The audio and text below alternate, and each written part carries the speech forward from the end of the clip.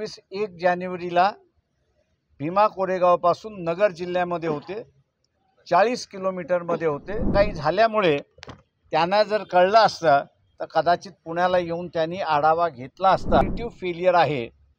की political failure आहे याचा तपास कमिशनने त्या ठिकाणी केला पाहिजे. तो चौकशीच्या संदर्भातला घडला. पोलीस अधिकाऱ्यांचा असणाऱ्या ॲफिडेविट त्या ठिकाणी आलेली आहेत ती वाचलेली आहेत. पण त्याच्यामधला सगळ्यात मोठा मिसिंग भाग जो आहे तो तिथल्या ग्रामपंचायतीने जे ठराव दिले होते ठराव दिले होते त्या संदर्भातले होते. आणि दुसरं ही घडवण्यात आलेली दंगल आहे. व्हॉट्सअपवरचे असणारे चॅट्स एकमेकांबद्दल बदललेली माहिती ही सगळी कागदपत्रं असणारं कमिशन समोर त्या ठिकाणी सादर करण्यात आलेली आहे. या सादर केलेल्या कागदावरनं कमिशनला मी असणारं विनंती केलेली आहे की specifically intelligence department Kolhapur range यांच्याकडे दोन दिवस अगोदर काय माहिती होती त्याचं स्पेसिफिकली विचारावं. दुसरं जे आहे त्याच्यामध्ये एस पी हे त्या दिवशी कुठे होते त्यांचा रोल काय होता हा त्यांनी असणारा त्याच्यामध्ये तपासावा. माझ्या माहितीप्रमाणे जी काही छोटी मोठी पोलिसांची युनिट्स आहेत की ज्याच्यातून इन्फॉर्मेशन गॅदर होतं त्यांनी असणारा इनपुट्स दिले होते. हे इनपुट्स कोणी थांबवले वरती जाऊ दिलेलं नाही.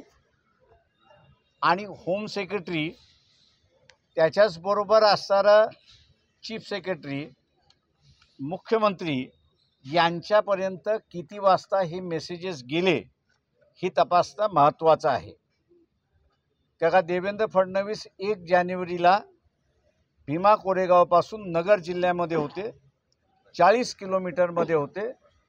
साडे अकरा ते अकरा चाळीसला त्यांचा असणारा फ्लाईट टेक ऑफ केले म्हणजे हेलिकॉप्टर टेक ऑफ केलेली अशी नोंद आहे. त्याच्यामुळे त्या दंगल ही सकाळी झाली.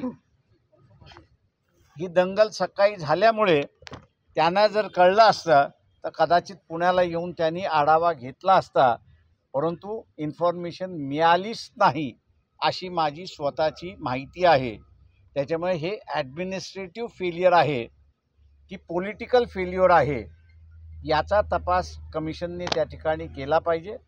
आणि ज्यांनी ज्यांनी इन्फॉर्मेशन दाबून ठेवलेली आहे त्यांना दोन इन्सिडेंट पुढच्या असणाऱ्या साक्षीमध्ये त्या ठिकाणी देणार आहे की मुंबईसारख्या बॉम्बलास्टमध्ये सुद्धा सगळे इनपुट्स असताना इन्फॉर्मेशन फक्त गेली नाही म्हणून स्थानिक पोलीस ॲक्शन घेऊ शकले नाही आणि सव्वीस आकडा घडला अशी परिस्थिती आहे. पुन्हा पुन्हा अशा ज्या घटना होत आहेत त्याच्यामुळे रिस्पॉन्सिबिलिटी फिक्स करणं ही कमिशननी आता जबाबदारी त्या ठिकाणी घ्यावी असं त्या ठिकाणी मांडण्यात आलेलं आहे. मध्ये प्रश्न विचारण्यात आले त्याची उत्तरं मी त्या ठिकाणी दिलेली आहेत. क्रॉस ही फार फार तर जे आलेले आहेत ते संभाजी महाराजांचं दफन कोणी केलं? या वादातून त्या ठिकाणी चाललेलं आहे असं मी त्या ठिकाणी मानतोय. आणि दुसरं जी नवीन पॉलिटिकल इक्वेशन ह्या ठिकाणी उभं राहतंय. सरंजामशाही मराठ्यांचं आणि ब्राह्मणशाहीचं असणारं नव्यानं जी युती ह्या ठिकाणी होताना दिसते त्यालाच आधारून असणारं काही प्रश्न त्या ठिकाणी विचारण्यात आले होते. आणि सजेशन असंही मला करण्यात आलं होतं की पेशवाई हारलीच नाही असं सुद्धा त्या ठिकाणी विचारण्यात आलं होतं. याच